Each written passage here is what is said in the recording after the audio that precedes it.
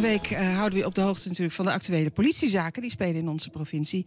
En daarbij gebruiken we ook beelden. Dus als je in de gelegenheid bent, zet dan je televisie of onze app even aan. Dan kun je ook meekijken. Ja, we gaan het vandaag hebben over iets wat ons allemaal kan overkomen, namelijk fraude via WhatsApp. Martin de Wit van de politie kan ons daar uh, meer over vertellen. Martin, als we het hebben over uh, WhatsApp-fraude, wat verstaan we daar dan precies onder?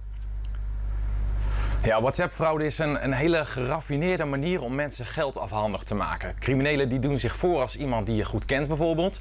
Ze versturen een appje vanaf een eh, voor jou onbekend nummer. Maar in het profiel van de afzender zie je dan wel een foto van een bekende. Denk bijvoorbeeld aan een, een familielid of een vriend of een collega. En de persoon die legt uit waarom het nummer dan niet bekend is. Bijvoorbeeld omdat uh, iemand een nieuw nummer heeft. Het gesprek dat volgt, dat voelt vertrouwd aan. En na een tijdje wordt dan de vraag gesteld of je wil helpen. Want ja, er is geld nodig en snel ook.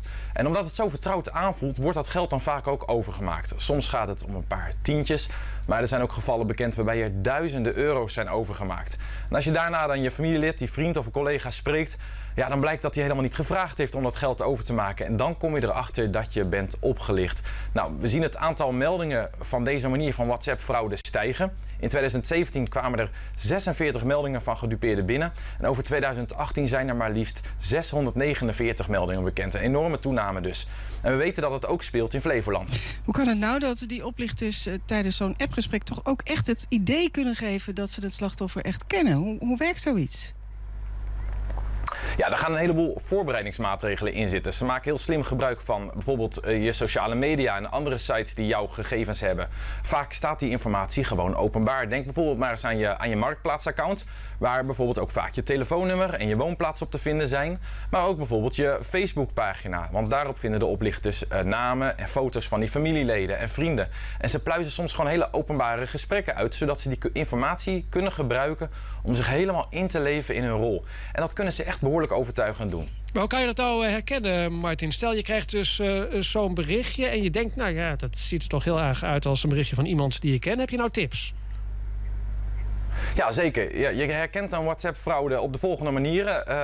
Eén, uh, uh, eigenlijk de eerste stap is een bekende stuurt je dus zo'n appje vanaf een onbekend nummer, maar de profielfoto klopt. Nou ja, deze bekende zit dan in geldnood en vraagt je om geld om voor te schieten. En er is altijd veel haast bij. En wat altijd opvalt, die bekende die wil dan niet op een andere manier communiceren. Uh, ja, die beweert dat dat bijvoorbeeld niet kan, dat hij niet kan bellen. En dat moet dan per WhatsApp. En uh, wat heb je allemaal nog meer voor, voor ja, tips om fraude te voorkomen? Want je zal er toch maar mee te maken krijgen. Ja, zeker. Het is echt heel vervelend als je dat overkomt. Nou, het is bijvoorbeeld een, goede tip is bijvoorbeeld uh, uh, je WhatsApp-account te beveiligen met tweestapsverificatie. Nou, hoe je dat precies moet doen, dat vind je op de website uh, van veiligeinternetten.nl. Nou, en als je nou uh, vermoedt dat iemand je probeert op te lichten via WhatsApp en je wilt zekerheid hebben over die afzender, dan kun je vier dingen doen. De eerste is het eigenlijk de eenvoudigste. Bel de persoon zelf op via het nummer uit je eigen adresboek. Uh, dus niet het nummer gebruiken wat is doorgegeven, maar wat je eigenlijk al hebt. Het oude nummer dus. Want zo valt een oplichter onmiddellijk door de mand. Nou, lukt dat bellen nou niet, maar appen wel, laat dan de ander bijvoorbeeld een gesproken berichtje sturen. De oplichters haken dat ook dan al snel af. Nou ja, en stel jezelf gewoon de regel. Heb je iemand niet gesproken, uh, geef dan ook nooit geld. Maak dat gewoon dan nooit over. En tot, tot slot, uh, meld de oplichting. Hè, mocht het je overkomen zijn, meld het bij de fraude helpdesk. Ook als je het geld niet hebt overgemaakt, neem ook in alle gevallen contact op met de politie. En dat kan via het nummer 0900 8844.